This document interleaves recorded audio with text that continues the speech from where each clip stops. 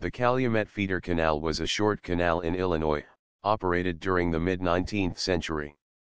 It connected the Little Calumet River to the Illinois and Michigan, INM, Canal, and ran from Blue Island, where the Little Calumet made a hairpin turn toward Lake Michigan, to meet the INM Canal at Sag Bridge. It was one of four feeder canals built for the INM, the others being the DuPage Feeder, Fox River Feeder and Kankakee Feeder. The canal was surveyed in 1845, construction began in 1848, and was completed late in the winter of 1848 to 1849. The Calumet feeder was constructed principally to provide additional water so that the INM canal could maintain a navigable depth, but it also carried commercial traffic of its own.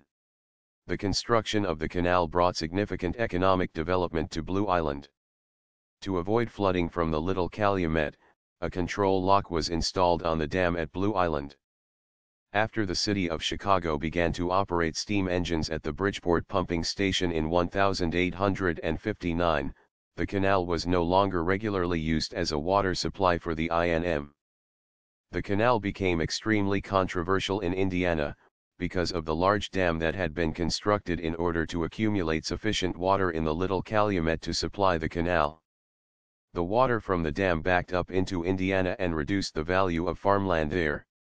In 1874, when the canal was no longer needed, Illinois breached the dam at Indiana's request. From that point the feeder ceased entirely to function as a water source for the INM. The construction of the deeper Cal-Sag channel in the 1910s drained the remaining water out of the Calumet feeder. Today very little remains of the canal, apart from some fragments of the original dam near Blue Island.